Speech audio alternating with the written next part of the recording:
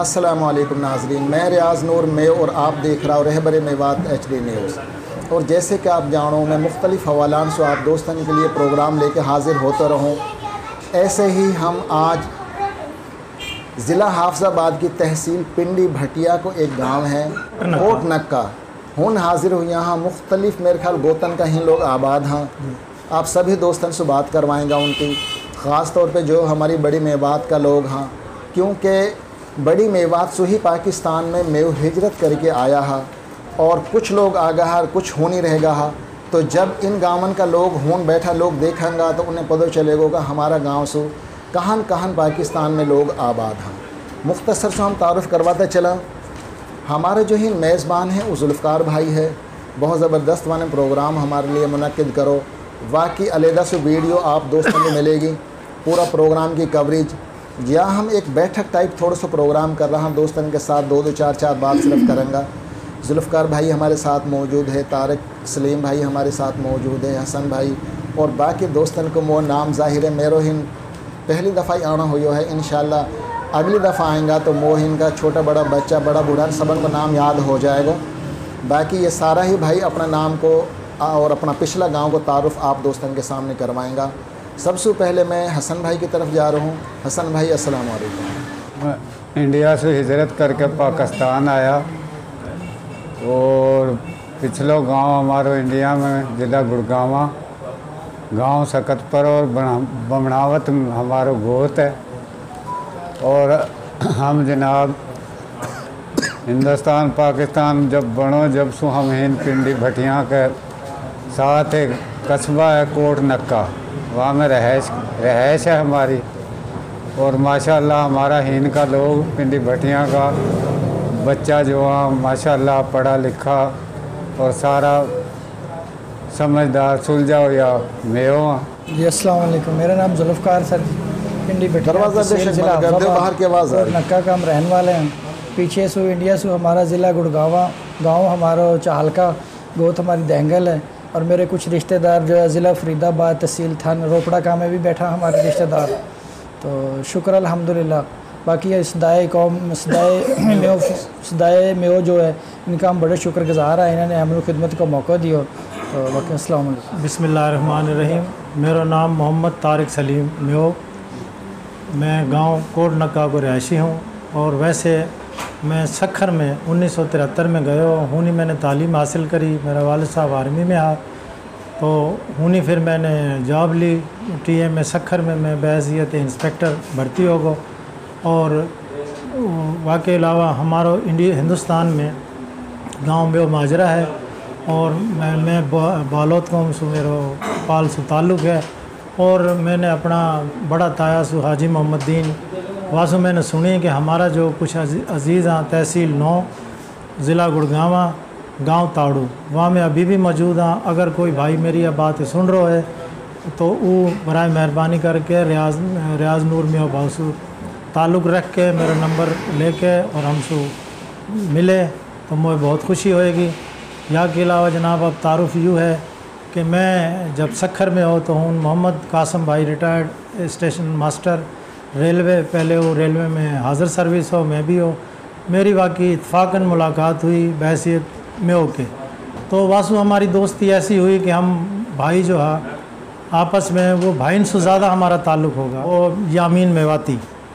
वासु, कोई सुलेमान, हाफिज़ सुलेमान साहब को कोई ताल्लुक़ हो, वो एक दिन बैठे बैठे वहाँ ने बात करी तो मुझे बड़ी खुशी हुई। मैंने कही, जी, बिल्कुल हाफिज़ सुलेमान साहब है हमें मिलाओ तो इतफाक़न जब हाफिज़ सलेमान साहब हूँ आया चौधरी शौकत में होकर डेरा पे तो हम मिला और मैं हकीकत जो हकीकत में बयान कर रहा हूँ या मैं कोई खुश आमद ना है। मैं दो बंदान से बहुत मुतासर हो के जो है ना, बहुत मुतासर हुए मैं कौम को। एक जनाब रियाज नूर मेो साहब और दूसरा हाफिज़ सलेमान तारक साहब। इन मैं मुतासर हो के और मैं फिर जनाब मैंने, मैं बरदरी में मिलना जुलना शुरू कर दियो।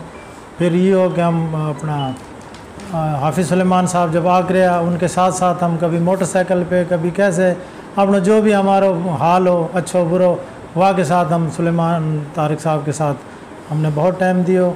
और या वक्त जो हम हमारी जो तहसील है पिंडी भट्टियाँ ये या वजह से भी ज़्यादा मशहूर है कि ये दुल्ले की बार भी कहलावे दुल्ला भट्टी जो हो हाँ दुल्ला भट्टी जो हो वो या मतलब या इलाका को एक अंग्रेज़न के ख़िलाफ़ बहुत बड़ा मुजाहिद हो, जिनने अंग्रेज़न ने वाको नाम डाकू डाकू को ख़िताब दियो। तो यह वजह से पिंडी भट्टियाँ दुल्ले की बार भी कहलावे है। और मज़ीद जो है कि हिंद मोटरवे को जाल बिछो है पिंडी भट्टियाँ में। हिंसू जनाब हर शहर तक, फैसलाबाद सरगोदा चिन्योट हाफसाबाद, लाहौर, शेखुपुरा, ये तकरीबन सारा मेरा ख्याल पचास पचास साठ साठ किलोमीटर हाँ। या वजह से या शहर में ज़्यादातर जो पहले काम हो करे हो जीन ज़्यादा बनक रही उनकी, घोड़ान की जो घोड़ान का शौकीन ज़्यादा चौधरी हो गया तो अब जो है, ये अजनास की मंडी है, जलालपुर भटियाँ और पिंडी भटियाँ।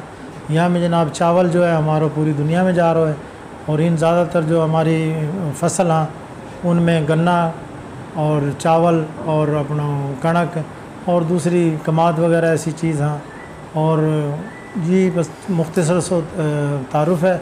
और मैं आखिर में बहुत शुक्रिया बहुत शुक्रिया दिल के गहराइन के साथ नूर मेो भाई को और हाफिज़ सलेमान साहब को, चीफ़ एडिटर जो सदा है मेो हाँ मैं इनको बड़ा शुक्रगुजार हूँ कि हमारी दावत पे कोट नक्का आया और इनने हमको बहुत इज़्ज़त दी। और मज़ीद मेरा साथी, दोस्त, भाई फैसला वासु भी तशरीफ़ लाया, जिन, जिनकी वजह से मज़ीद मो बहुत ज़्यादा खुशी हुई।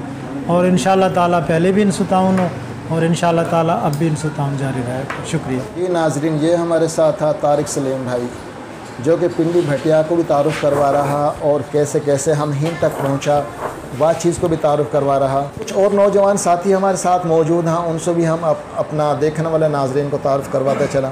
जी वालेकुम। सबसे पहले मेरा नाम आमिर हारून है।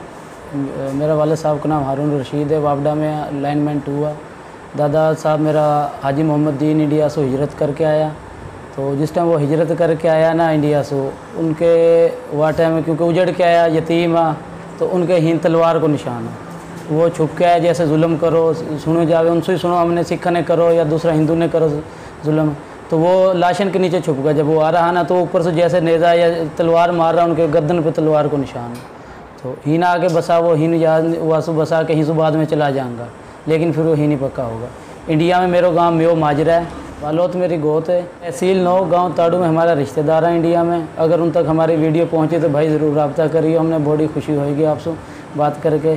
अब मैं कोट नक्का के बारे में बताऊँ थोड़ा सा। कोट नक्का, ये हमारा दरिया का किनारा पे, निक्का वासु कहना या वास्ते आपको नाम है कोट नक्का। बहुत कदीम गाँव में और बड़ा सुनो, अब गाँव हमसे काफ़ी दूर चलोगे, लेकिन ये गाँव अब भी आबाद है। यहाँ में हमारा मेवन की अकलीत अक्सरियत ना है। लेकिन अल्हम्दुलिल्लाह पाक साफ़ मेवा बिल्कुल पढ़ा लिखा फैमिली है मुकम्मल पढ़ी लिखी फैमिली है।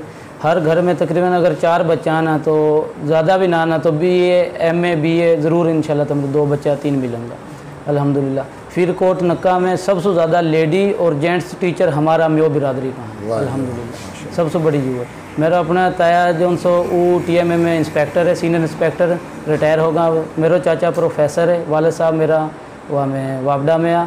मेरा कज़न जो वो टीचर हैं, मेरी जो यानी कि फूफी हैं, वो टीचर हैं। यानी कि अलहमदिल्ला हमारी फैमिली कोट नक्का फैमिली एक पढ़ी लिखी फैमिली है। हमने इन्हें एक तंजीम बनाई है कोट नक्का लेवल पे, क्योंकि यासु पहले हम खूगा हा। हाफज साहब की मेहरबानी, भाई रियाज की मेहरबानी के इन्हें हम ढूंढ लिया। हम खूगा हमने पतो भी ना हो। ये पहली बार हमारे पे आया हाँ। हमने या सो पहले बिल्कुल ना हो, पता हो कि हम कहाँ ना, या म्यो सो हमारा म्यून सो हमारा कोई ताल्लुक है। पता हो, ज़रूर हो, इंडिया से आया, बस इतना अपनी हिस्ट्री के बारे में जो बुज़ुर्गों से सुनो हो। लेकिन पहली बार हमारा गाँव में हमारे पे सदाए मेो फॉर्म वाला आया हाँ। या में हमने अपनी रजिस्ट्रेशन भी करवाई मेम्बरशिप भी इनसू करी है। तो अब हमारा इनसे एक ताल्लुक बन गो प्यार को रिश्ता बन गो इन अब आन जान रहेगा हमारो। हम इनके पे जा करेंगे ये हमारे पे आ करेंगे असलम जी। मेरा नाम मोहम्मद फैसल तारिक। नका पिंडी भटियाँ ज़िला हाफिज़ाबाद का रहायशी हूँ। मेरा पिछलो गाँव जो कोड इंडिया में वो है मेव माजरा। और मेरी गोद बालोत है और तहसील नोई। अब मैं पिंडी भटियाँ को रहायशी हूँ, कोट नक्का को। और यहीं कोट नक्का हाई स्कूल में एज ए साइंस टीचर पढ़ा रहा हूँ। जी, मेरा नाम मोहम्मद कासिम है। मेरा वालद का नाम मोहम्मद उस्मान गिल। हम इंडिया से पडैना गाँव से आया हैं, ज़िला हमारा गुड़गांव। और हमारा जब बड़ा आया वो आया पेशावर में। हमारी ज़मीन अलाटमेंट भी हूँ पेशावर में ही हुई। फिर वह तो बाद हूँ तो ये ज़मीन जमून पेशावर छोड़ के ही नागा कोट नक्का में हम। और हूँ की ज़मीन इन्हें बेच दी। गोत हमारी है ढेंगल जी नाजरीन ये है पिंडी भटिया कोट नक्का का दोस्त।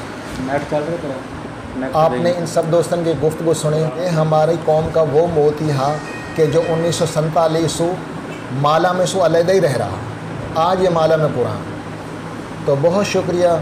मैं फिर सलूट करूँ हूँ। पिंडी, भटिया, कोट, नक्का, के इन तमाम दोस्तों को कि जिनने हम इतनी मोहब्बत के साथ वेलकम करा और हमारी बात सुनी, हमारे पे बैठा। सलूट पेश करूँ सब दोस्तों को। बहुत शुक्रिया। अल्लाह हाफिज़।